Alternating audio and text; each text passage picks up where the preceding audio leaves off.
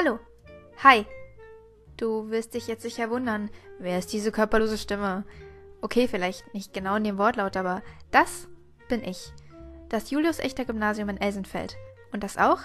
Und das bin ich von meiner Schokoladenseite. Am 28. April 2017 hatte ich echt viel Besuch, weil ich der Gastgeber für die Qualifikationsrunde von Jugend präsentiert sein durfte. Wie cool! Als erstes kamen wichtige Menschen in wichtiger Kleidung und kleinere wichtige Menschen mit orangenen T-Shirts. Die waren sehr lieb und haben alle Fragen beantwortet. Und dann ging es auch schon los. Nach und nach sind immer mehr neue Leute gekommen. Große, kleine, kleine Haarige. Nach der Anmeldung war noch Zeit bis zur Begrüßung und die Teilnehmer hatten die Möglichkeit, nochmal ihre Präsentation in Ruhe durchzugehen. Archimedes überlegte lange Zeit. Eines Tages, als er in der Badewanne lag, hatte er plötzlich die Idee. Jo, das passiert mir auch immer. Welche Idee?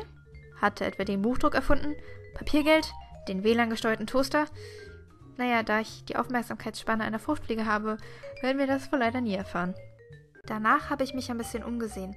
Die Helfer hatten ein Klassenzimmer in einen wichtigen Raum mit wichtigen Schildern für die wichtigen Menschen umgewandelt. Überall liefen nette Leute rum und allmählich füllte sich auch die Aula, da die Begrüßung kurz danach anfing. Und wie das bei diesen Veranstaltungen so ist, wurden wir auch freundlichst empfangen. Willkommen im zweitmeistbewaldeten Gebiet Bayerns und es ist uns eine Ehre, Sie hier begrüßen zu dürfen. Das Übliche eben. Und wie üblich haben auch alle höflich applaudiert. Danach wurden die Teilnehmer in kleinen Gruppen aufgeteilt und in die Warm-up-Räume geführt.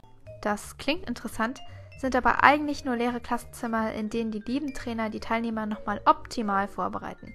Nach den obligatorischen Kennenlernspielen wurde über Mimik und Gestik geredet und worauf es da beim Präsentieren genau ankommt. Wenn wir freundlich lächeln, kriegen, ist ja auch die Wahrscheinlichkeit höher, dass wir das freundliche Lächeln gespiegelt bekommen. Und das haben wir natürlich alle gerne, dass uns Leute auch freundlich zurück anschauen und uns somit bestärken, dass das alles gut läuft. Hm, da hatte ich wieder was dazugelernt. Aber ich mochte schon immer, wenn mich jemand anlächelt. Allerdings erweist sich das so als Schulgebäude oft mehr als beschwerlich. Nach kleinen Diskussionen und Partnerarbeit passiert auf einmal das.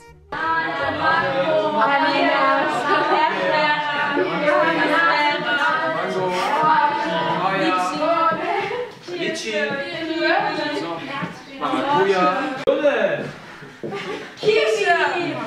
Ich bin mir nicht sicher, ob die Menschen versucht haben, geheime Obstgötter zu beschwören, aber hier spielen sich sowieso immer Sachen ab, die ich nicht so verstehe. Quantenphysik, Stochastik, Lyrikanalyse, da ist so ein Ritual zur Obstgottbeschwörung eigentlich gar nicht so abwegig. Danach bekamen die Teilnehmer auch Tipps zum Präsentieren an sich.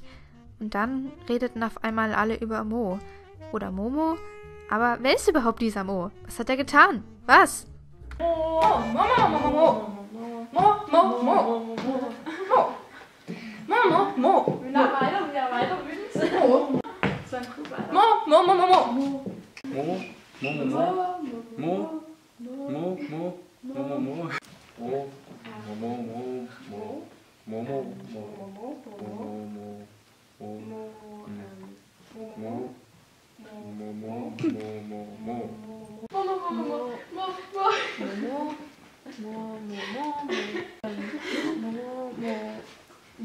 Es stellte sich dann übrigens heraus, dass das Mo ist.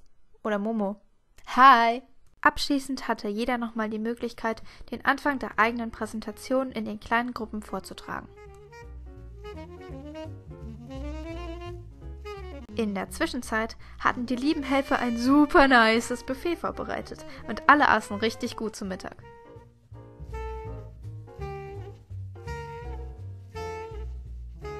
Aber dann begann der Ernst des Lebens.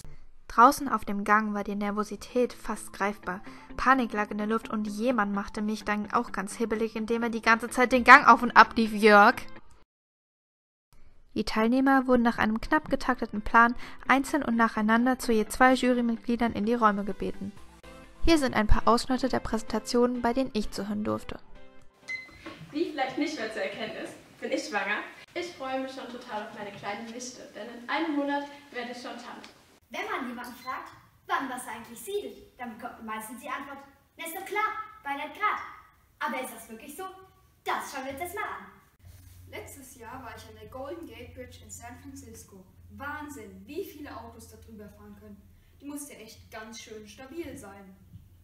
Bei mir geht es nun darum, was ein Brückenbauer von einem Kaktus lernen kann. Ich zaubere jetzt mein Versuchskaninchen Alfred in diese Flasche, ohne dass ich ihn reindrücken muss. Hm, ich glaube, Zaubern ist doch nicht so mein Ding. Aber ich weiß, wie es noch funktioniert. Am Ende sind echt alle meine Freunde vom Julius Echter Gymnasium und viele neue Freunde ins Finale weitergekommen. Sie dürfen die Präsentationsakademie besuchen und im Herbst zum Finale nach Berlin fahren. Alles in allem hatte ich schon lange nicht mehr so viel Spaß mit so gutem Essen und so coolen Leuten und ich freue mich schon aufs nächste Jahr und auch vielleicht den einen oder anderen wiederzusehen.